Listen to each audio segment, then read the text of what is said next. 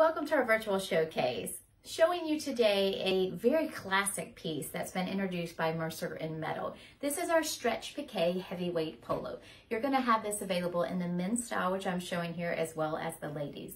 Your men's style number is MM1000 and your ladies is coordinating MM1001. These are going to retail at $24.98 before embroidery, embellishment, and quantity discounts. So a very great entry-level uniforming polo, but just kind of a step up.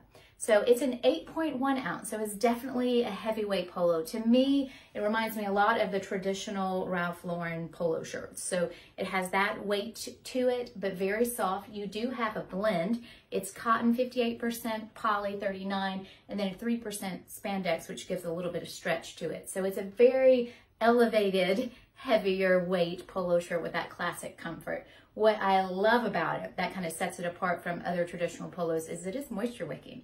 And especially when you have a, a heavier weight, 8 point uh, ounce, 8.1 ounce polo, you do want some moisture wicking capacities there. So I love that that has it built in when the heat is on. So again, this is our Stretch Pique Polo.